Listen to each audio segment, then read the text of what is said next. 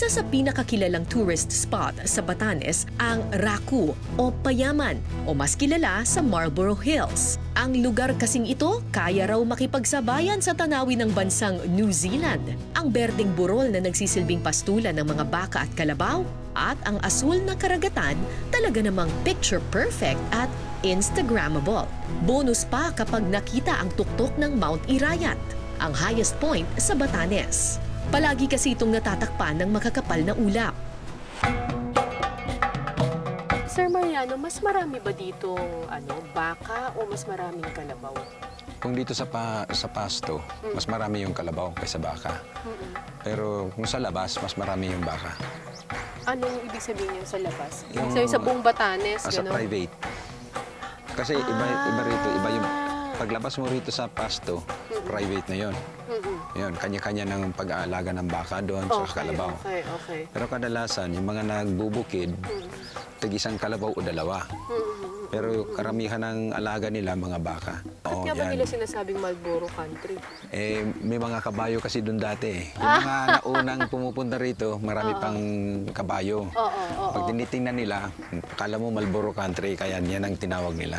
Kasi may mga kabayo. Oo. Pero ngayon wala na. Wala na, nadala ng bagyo yung mga kabayo. Oh, gaano ba karami ang ano dito sa ang kalabaw dito? So, Ngayon, siguro mga, kung tutusin, pati doon sa kabila, mga 100 plus.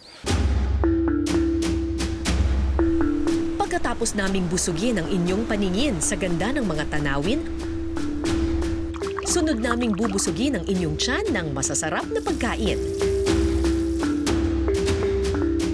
Ang nag-iisang restaurant na ito sa Marlborough Hills, halos sampung taon nang naghahain ng authentic at native Ivatan dishes. Hands-on si Nanay Evelyn sa pagpapatakbo ng kanilang restaurant. Siya mismo ang nagluluto at nag-aasikaso sa kanilang mga bisita. Dito kasi nung mahina pa yung turismo noon, kokonti pa lang ang pumupunta dito. But later, every year parang dumadami na hanggang ngayon, ah, minsan nakakaabot kami ng 200 na turistang kumakain dito. At ang kanilang bestseller, Nilagang Dilaw sa Baka.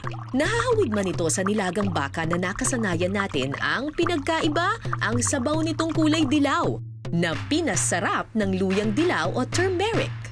Yung, yung laga kasi parang yan lang ang anong luto noon sa mga buto-buto na ilalaga mo siya na for pampainit ng katawan.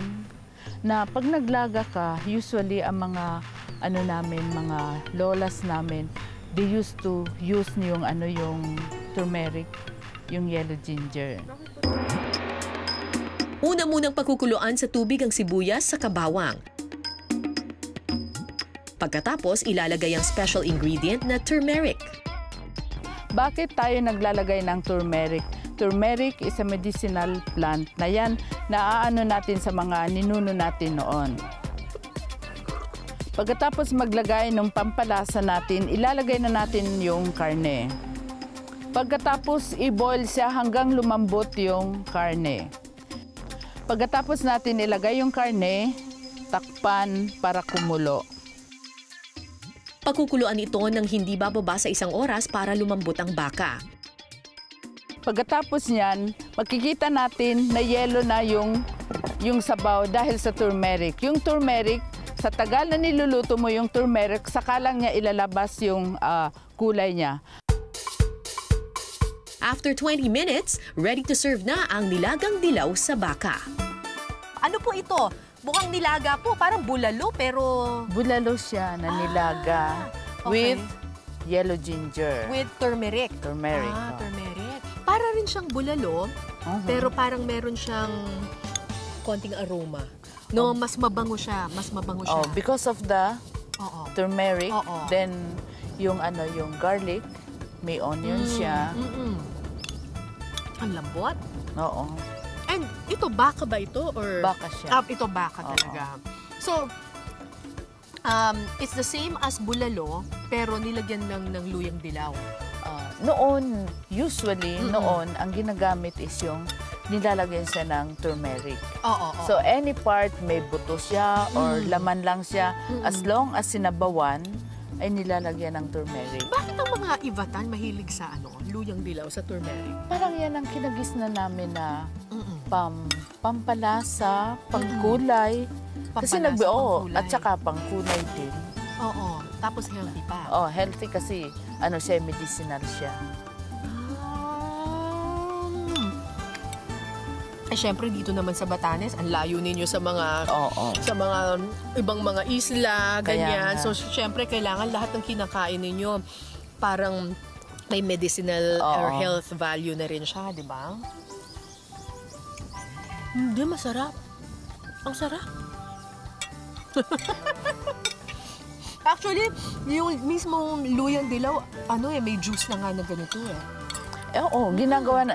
Dito, pinaga, sa school, pinag-aaralan din yan. Ginagawa siyang juice Mm-mm. at ginagawa din siyang tea. Mm-mm, mm-mm. So may turmeric tea, mayroon ah, turmeric juice. Hindi siya kasi kasing anghang ng luyang. ng luyang Yeah, yung yellow, yellow, na luya yung yung luya na, na luyang dilaw yung yung turmeric ako mahilig ako sa luyang dilaw eh. Talaga.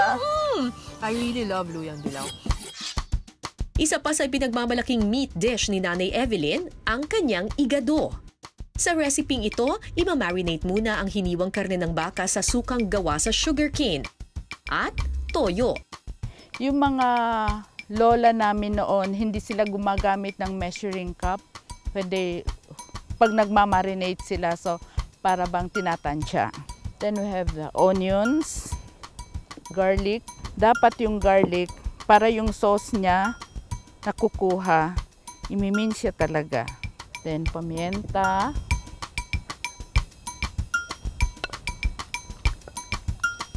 Then a little salt dahil naglagay na tayo ng toyo.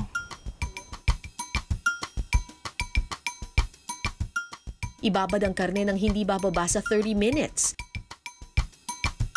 Kapag nanuot na sa karne ang mga pampalasa, pwede na itong igisa. Sa isang pan, unang igigisa ang bawang at sibuyas. Kapag golden brown na ang bawang, sunod na ilagay ang marinated beef. Hahaluin lang ito hanggang sa lumabas ang katas ng karne. Hayaan itong kumulo ng 20 minutes Pagkatapos, muli itong hahaluin hanggang sa matuyo ang sauce.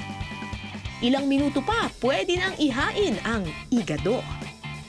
medyo manamis-namis ha Oo. yung, yung Sugar yung cane. vinegar dito Halos lahat ng niluluto noon is may bawang, may vinegar, may may toyo, at saka may onion. lasa ng igado ganun din siya pero mas dry ito and medyo mas makunat siya no Depende kung gaano katanda yung niluluto mong baka. Ah, kasi ang mga baka dito, parang wild sila, Oo, no? na parating lumalakad na naghahanap ng saan sila makakainom at kung saan sila makakakain. Hindi katulad sa mga um, farmland na Oo. talagang flat lang. Oo, Hindi tsaka- nakaka-exercise. Oo, Dito, patin. lean and mean. Tapos ito, kaya ninyo binabad siya talaga sa niluto ninyo sa suka. It's also a way of preservation. Yung paggamit ng vinegar, matagal na yung tradisyon ng mga sinauna pang Pilipino. Kasi wala namang mga freezer at refrigerator noon. Walang kuryente. Walang kuryente.